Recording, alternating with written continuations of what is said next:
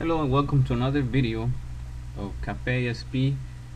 Uh, that's the Twitter account. If you guys have any questions on this video, or leave me a comment YouTube.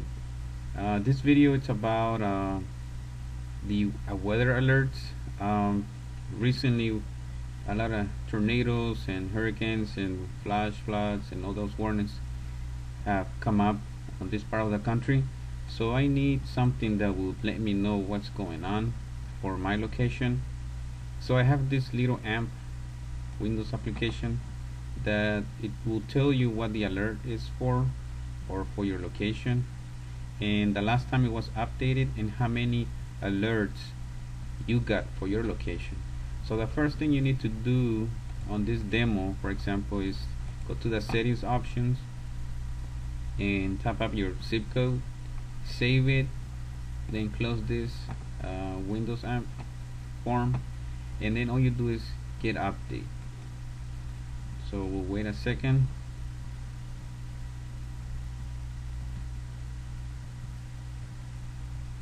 So as you can see I got a little pop-up down here uh, it says no alerts so far and it's talking about uh, Shelby County in Texas USA so as you can see it's working told me when was the update and no alert so far. So what I'm gonna do is change the zip code so we can see how this uh, tree view down here tells you the details. So what I'm gonna do is I went into this other weather uh, website and they have an uh, they have an alert over here. So flash flood warning so I'm gonna use that zip code 12765 and save it over here. And then try to get the alerts from that location.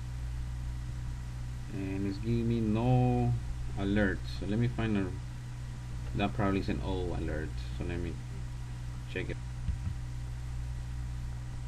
So I think I just found one.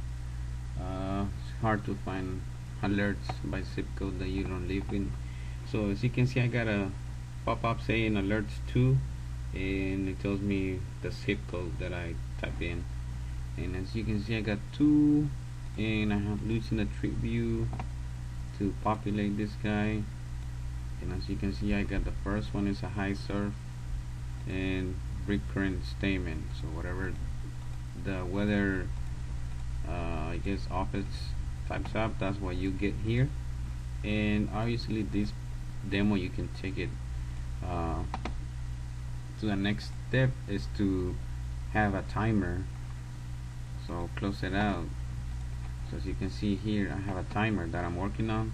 So every five minutes I'll just have it run and it will get me uh, the alerts or any alerts that come up every five minutes or whatever so there's more you can do on this by adding settings like how much or when to check for uh, alerts.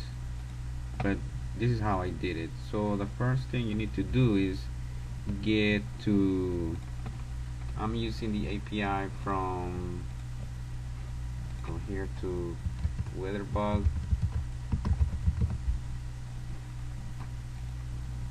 So I'm using weatherbug API uh, we'll just click it up here.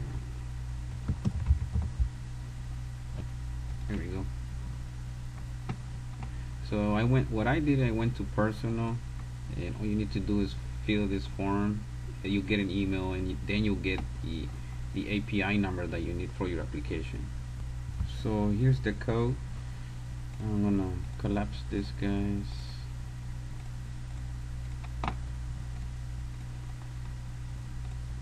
okay. So when the form loads I'm not doing anything but obviously I'm checking if, if the settings or the zip code has been saved. So for that I have a different uh, form just to take in and save. And just grab the text box value and make sure you do that save if not you'll lose your settings when you close your program. So that's really basic the next thing you do is click this guy. And here I'm just checking that make sure that the zip code is not null or empty. Then I go ahead and do get data. And this data it's right here.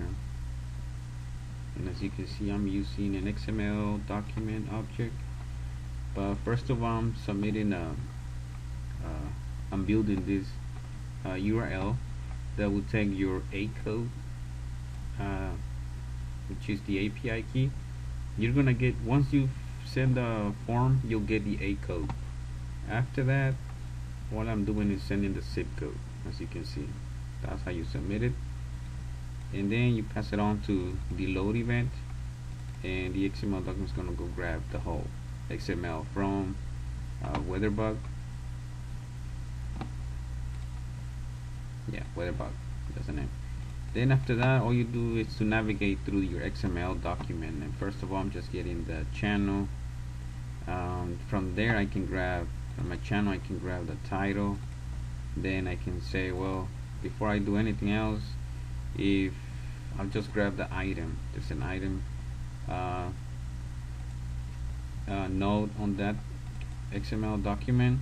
And here I'm just checking uh, if usually most of the times I haven't confirmed it yet but if it starts with no alerts that means there's nothing else there's nothing happening. So you don't need to do none of this. So but if it's not then you'll get in. You need to select uh, this guy. The weather AWS weather then you go down to alerts and then as you can see I'm checking the count and then I'm just putting on the label and then here I get a list of alerts uh, and as you can see here I'm starting to begin the update on the tree view which is this guy. And then the root is gonna be alerts. And under that then I loop through the items to the alerts. And as you can see I'm grabbing the type and the title. So this is just for the console. But here is the tree view where it's getting the value from the inner text from that from the type. Same thing with uh, with the title. As you can see I'm submitting here you need to submit the XML namespace manager. If not it will give you an error.